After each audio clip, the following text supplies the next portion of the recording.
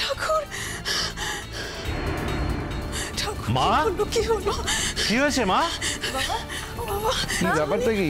বৌদি এরকম করে চাচ্ছ কেন? দেখো, দেখো। দাদা এখনও তৈরি? দাদা ওটো না কি হয়েছে বুঝতে পারছি না গো। বাবা? থেকে উঠছে না।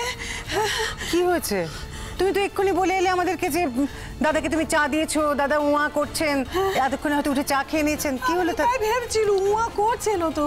তাহলে? এখন তো ঘুম থেকে উঠছে না নিঃশ্বাস ফেলছে না আমি কি বলছেন ভালো মানুষ নিঃশ্বাস নিচ্ছেন না মানে? ও মেজকা একবার দেখো না।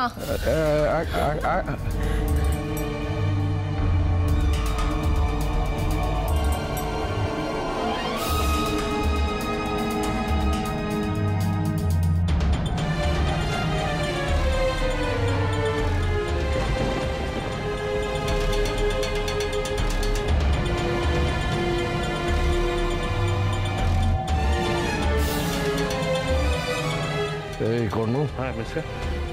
তাড়াতাড়ি ডাক্তারবাবুকে একটু খবর দিতে বলবি এক্ষুনি আসতে এক্ষুনি।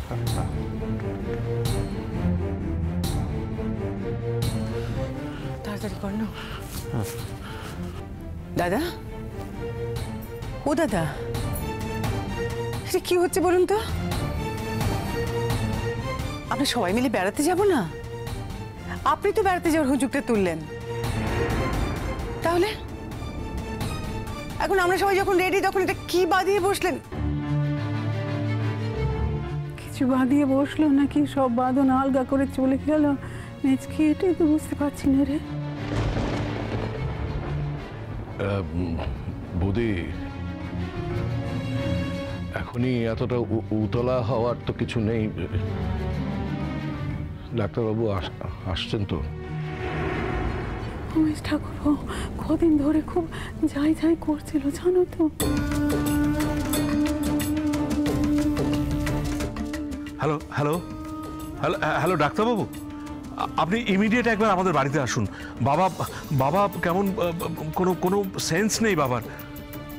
প্লিজ যত তাড়াতাড়ি সম্ভব আপনি একবার আসুন। বাবাকে দেখে আমাদের খুব একটা ভালো মনে হচ্ছে না, ডাক্তারবাবু।